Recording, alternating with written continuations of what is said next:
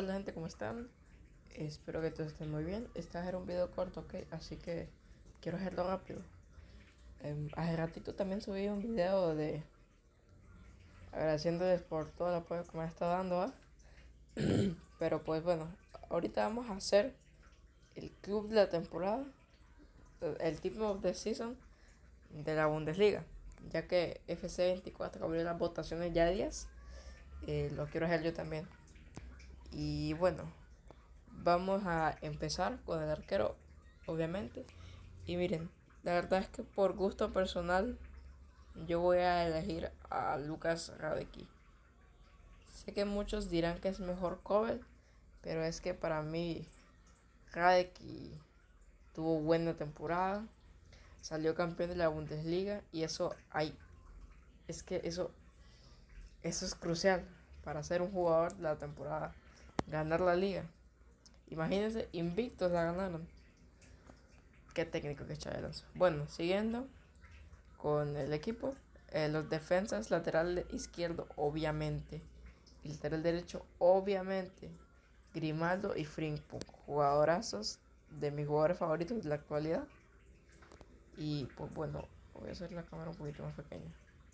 El siguiente central, yo voy a poner acá a Schlotterbeck.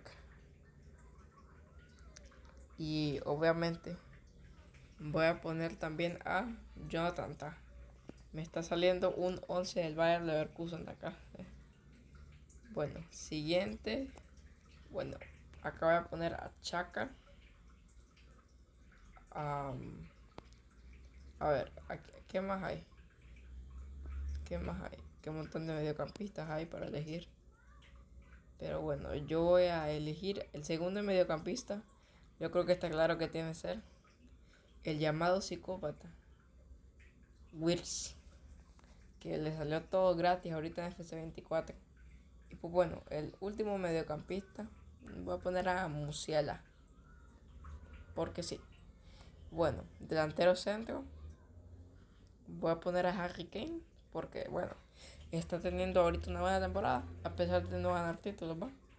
Pero ahorita es el máximo goleador y asistidor, goleador y asistidor de la temporada, creo. O sea, es el que más goles y asistencias tiene en la temporada. Bueno, obviamente, este, el delantero de acá va a ser Boniface. Ay, que se mueve la cámara. Boniface. Y el último delantero a quién pongo. Yo voy a poner a Fulcrum.